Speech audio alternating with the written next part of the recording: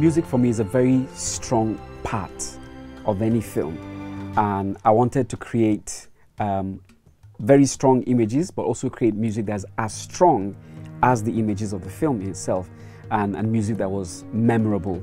But beyond that, music that would aptly underscore uh, the emotions and, and, and the, the, the, narrative that is the film that A Place in the Stars is. Um, because most often you find that when you're talking about films that are, say, African, um, there's, there's a certain kind of score that comes to mind for most people. But for me, um, music and the expression of music as a um, encapsulation of emotions. Um, emotions are the same whether they are white, black, yellow, or green. Um, you know, anger is the same, love is expressed in the same way. So I did not want music that was colored by some sort of regional tonation simply because the film is African. I wanted a, a, a, score that would be universal in its appeal and yet underpinned with the, the Africanness that is the story of the film. And to do that, I turned to um, George Kallis, who I, I, had listened to um, a reel sent um, to me by him. And I was quite taken by the, the, the, scope of work he had done and the kind of music that, that he composed. I found them both lyrical, engaging, and, and at all level, they never tried to um, rise above the film, but always carried and supported the film in a really nice way. So for me, he was, he was quite apt for what I wanted to do. When he started sending material back to me and I was listening to what he was doing um, and, and, and just hearing the scale of the music, uh, we knew that it wasn't going to be music that would be uh, recorded, you know, as most um, independent films would do. Uh, you get someone, you get library materials, or you get someone on the keyboard trying to score something. It needed to be grand in the scale of it, and and so we had to find a way to accommodate within the budget, you know, a recording of the score in a way that was befitting of the scale of the film. So we went to uh, Budapest in, in, Hungary and recorded um, the, the music of the film with a 90-piece orchestra. And it's just beautiful you know, what has come out of that. And, and it underpins nicely the emotions and expressions uh, of, of, of the narrative that is A Place in the Stars.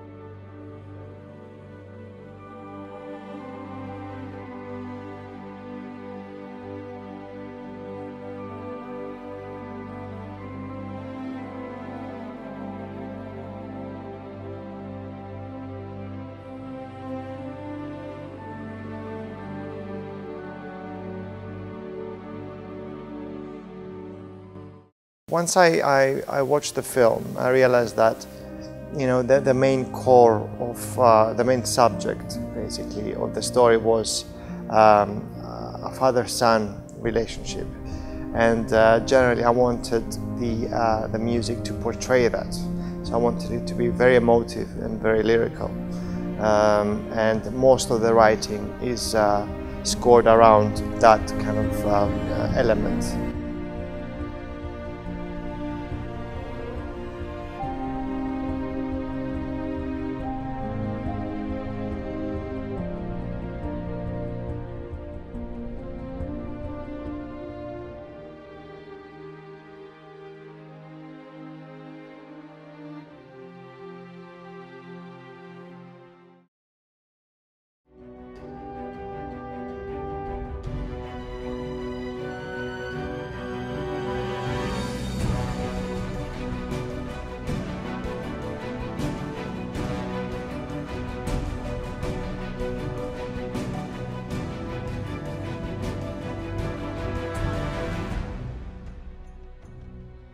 I think the expectations are um, to, to have a wonderful um, soundtrack that glues very well with the movie. Because, you know, for me, um, I'd like when people go and, and, watch the movie in cinemas and on DVD or whatever, I'd like them to have some sort of memorability of, of, of the movie. And obviously the subjects have their own memorability, but sometimes you are left with a, a theme. You know, after you watch a, a, a film, uh, you know, uh, you know, you close your DVD and you go and make a coffee, and then maybe that theme might linger in the back of your head. So that would be wonderful if, we, you can achieve that uh, for our audiences.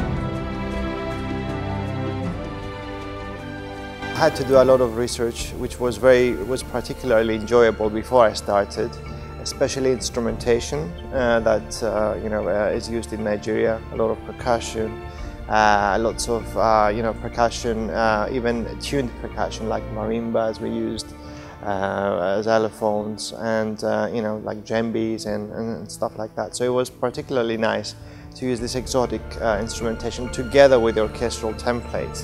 Uh, you know, and I think the two mixed wonderfully together. We talked about the, the, the, the film and, and I sent him the script first and then sent him a, um, a, cut of the film to look at. And when he began to send material back to me, uh, it was really, really very uplifting what I was hearing.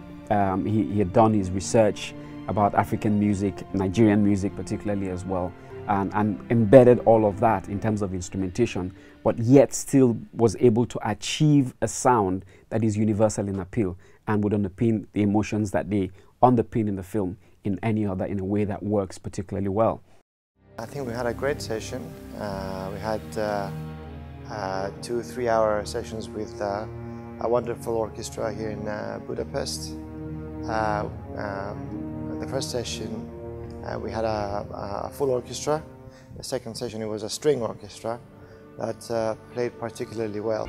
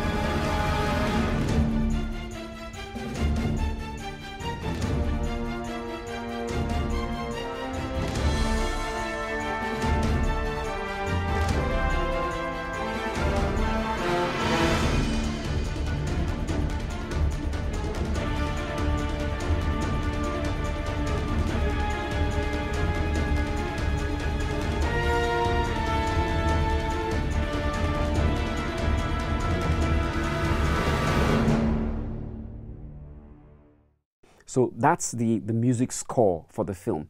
Then in terms of the songs, you know, that were also written for the film. I, I was looking for a, a, producer that would also be able to bring that to, to fore. And for me, Jeremiah Gyang is a one of the best produce, you know, music producers we have in Nigeria, albeit under celebrated as well and, and never given the credit that he deserves. So I turned to Jeremiah in terms of achieving the sound in terms of the songs of the film.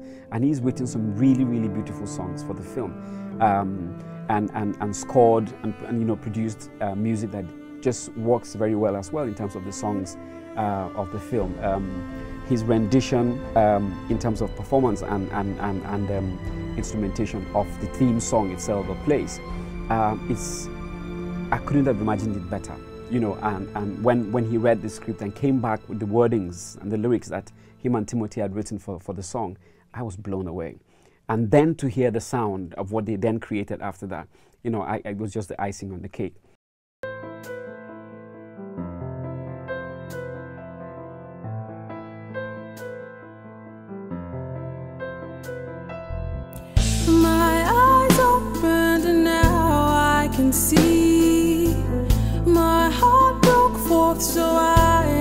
Understand. Things were hidden, things were in the dark. Now revealed by this brightness, I see.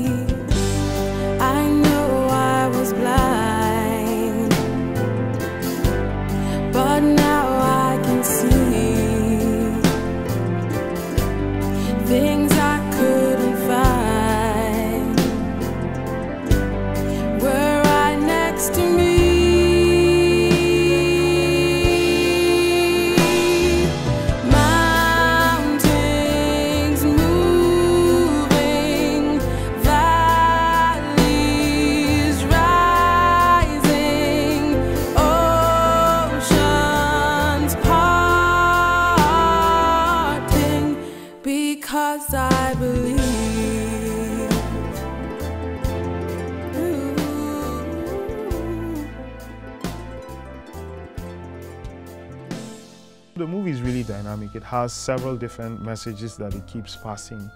You know, it tells you one thing, but it says it in, in several different ways.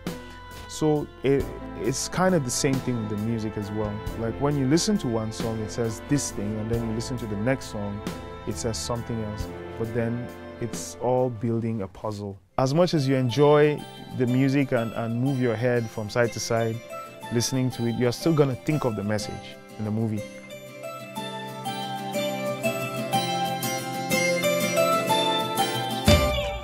When you listen to the entire audio palette of the film, in terms of the songs and the music score, um, it, it, it complements very, very well in a, in a really fascinating way uh, the imagery that, that is the film. So putting the two of them together creates an experience um, that you know you would remember for quite a long time.